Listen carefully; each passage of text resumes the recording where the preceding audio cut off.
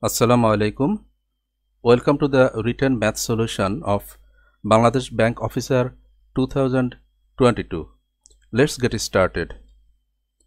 Question number one: A labor is paid taka 100 per hour for working 8 hours in a day as regular pay.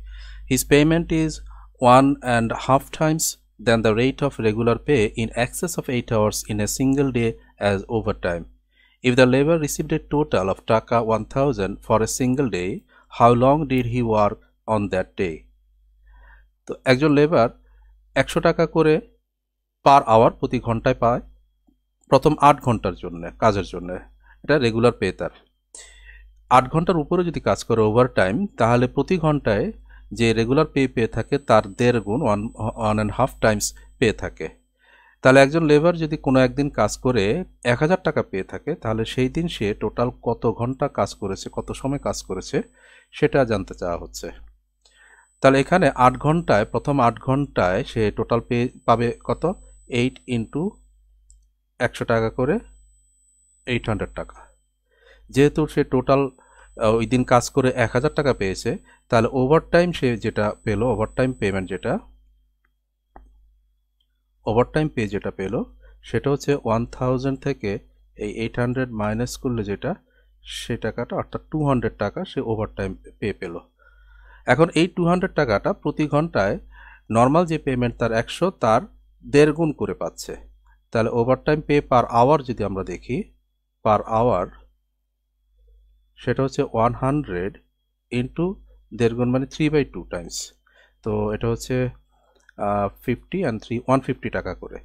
তো প্রতিদিন one fifty টাকা করে সে যদি প্রতি ঘন্টায় ওয়ান ফিফটি টাকা করে যদি টু হান্ড্রেড টাকা পেয়ে থাকে, তাহলে তার এক্সট্রা টাইমটা কত? সেটা হচ্ছে যে two hundred by one fifty এত টাইম তাহলে টোটাল টাইম হবে তার টোটাল টাইম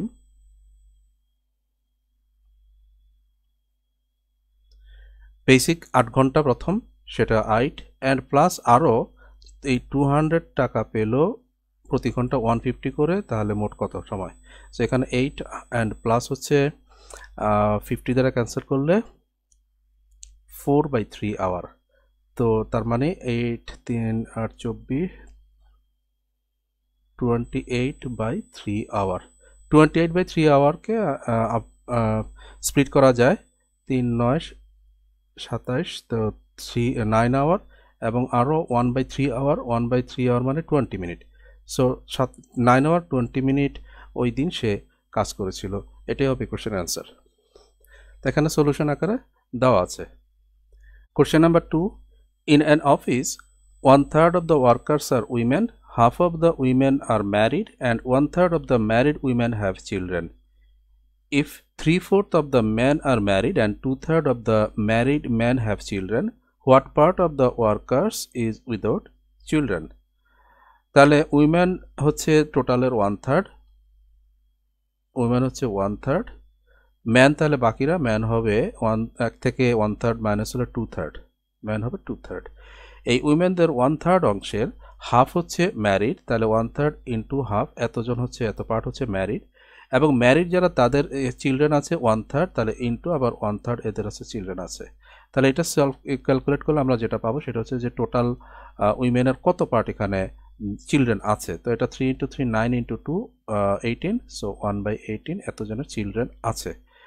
একইভাবে ম্যানের ক্ষেত্রে টু থার্ড হচ্ছে ম্যান তাদের মধ্যে three fourth R married ম্যানদের three fourth married so three by four এবং married ম্যানদের two third married man have children এদের আবার টু থার্ডের চিলড্রেন আছে ইন্টু টু থার্ড তাহলে আমরা এখান থেকে পাবো কতজন ম্যান, কত পার্ট ম্যান তাদের চিলড্রেন আছে। তো ওটা সিম্পলিফাই করলে এখানে থ্রি অ্যান্ড থ্রি ক্যান্সেল হচ্ছে টু অ্যান্ড টু ফোর ফোরের সাথে ক্যান্সেল হচ্ছে ওয়ান বাই থ্রি তো উইমেন এবং ম্যান মিলে তাহলে one one by eighteen and one by three পার্টের চিলড্রেন আছে।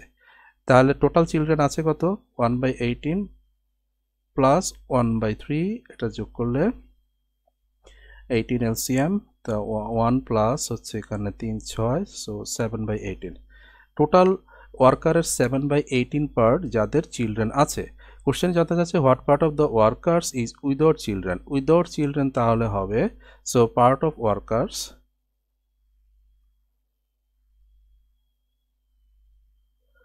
without children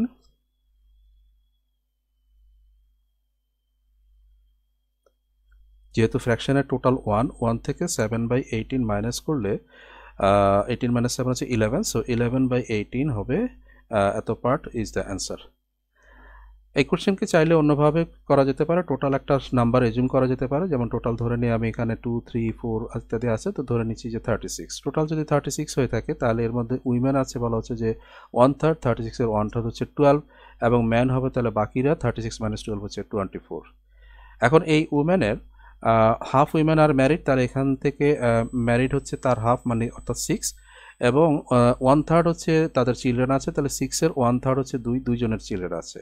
একইভাবে ম্যানের ক্ষেত্রে three fourth are married twenty ফোরের থ্রি ফোর্থ হচ্ছে চার দিয়ে ভাগ হলে ছয়, তিনশো আঠারো। আঠারো জন, এবং তাদের আবার টু থার্ডের চিলড্রেন আছে, তো টু থার্ড মানে তিন দিয়ে ভাগ করে দুই দিয়ে গুণ করলে বারো আসবে। তাহলে এখানে যাদের চিলড্রেন আছে, তারা হচ্ছে এখানে two and twelve fourteen fourteen জনের চিলড্রেন আছে। তাহলে চিলড্রেন নাই কয়জন? এখানে চিলড্রেন নাই হচ্ছে যে বারো থেকে দুই মাইনাস করলে দশজন আর এখানে চিলড্রেন নাই হচ্ছে বারো জনের। তাহলে টোটাল চিলড্রেন নাই হচ্ছে বাইশ জন। তাহলে চিলড্রেন নাই উইদাউট চিলড্রেন যেটা রেকর্ড ফ্র্যাকশন যেটা জানতে চাচ্ছে রেকর্ড ফ্র্যাকশন পার্ট সেটা হচ্ছে twenty two out of total হচ্ছে আমি থার্টি সিক্স ধরেছি তাহলে twenty two by thirty six simplify করলে এটা eleven by eighteen is the answer solution এখানে আছে দুভাবেই। Question number three two hundred children came to park with bicycle and tricycle all the older children used bicycles and all the younger children used tricycles for coming to the park. As such, there were 480 wheels altogether. That rode into the park.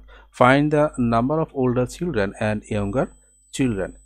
তার মানে এখানে যারা একটু বয়স্ক children তারা তারা বাইসাইকেলে আসছে এবং যারা একটু ছোট ইয়াঙ্গার চিলড্রেন তারা ট্রাইসাইকেলে তিন চাকা বিশিষ্ট সাইকেলে এসছে এভাবে করে দুশো জন চিলড্রেন আসলো, আর টোটাল হুইলের সংখ্যা, চাকার সংখ্যা পাওয়া গেলো চারশো আশি তাহলে কতজন children find the number older children younger children? কতজন ওল্ডার চিলড্রেন এবং কতজন ইয়াঙ্গার চিলড্রেন সেটা জানতে চাচ্ছে। তাহলে মনে করি আমি ওল্ডার চিলড্রেন ওল্ডার চিলড্রেনের সংখ্যা মনে করি যে এক্স যেহেতু টোটাল দুশো জন চিলড্রেন, তাহলে ইয়ঙ্গার হয়ে যাবে ইয়ঙ্গার বলতে পারি আমরা টু হান্ড্রেড মাইনাস এক্স এখন যারা ওল্ডার তারা এসছে বাইসাইকেলে করে। তো এক একটা বাইসাইকেলে দুইটা চাকা থাকে, তাহলে এখানে টু ইন্টু এক্স আর প্লাস হচ্ছে যারা ইয়াঙ্গার অর্থাৎ টু হান্ড্রেড মাইনাস এক সংখ্যক, তারা এসছে ট্রাইসাইকেলে করে এবং তার এক একটা ট্রাইসাইকেলে তিনটা করে চাকা, তাহলে টোটাল চাকা হবে three into two hundred minus X এই দুটার যোগ করেছে টোটাল চাকার সংখ্যা, যেটা দেওয়া আছে ফোর এইটি তাহলে এটা সলভ করলে আমরা এখান থেকে টু এক্স আর মাইনাস থ্রি এক্স মানে মাইনাস এক্স এবং এখানে ফোর এইটটি এবং এখান থেকে three into two hundred minus six hundred so it is equal to minus one twenty তো তার মানে হচ্ছে যে X equal to minus minus cancel হয়ে যাবে X equal to one twenty তো X equal to one twenty মানে হচ্ছে যে ওয়ান টোয়েন্টি হচ্ছে আমাদের, এখানে আমরা ধরে নিয়েছিলাম older find the number of older children তাহলে ওল্ডার হচ্ছে আমাদের একশো বিশ এবং ইয়ঙ্গার হবে তাহলে দুশো থেকে একশো বিশ মাইনাস করলে eighty so one twenty and eighty is the answer solution এখানে দেখানো আছে। Next question Mr. Air deposited a certain amount of money for a fixed period of time. On maturity, he received a total of taka 60,000 and the ratio of interest and investment was 3 is to 6.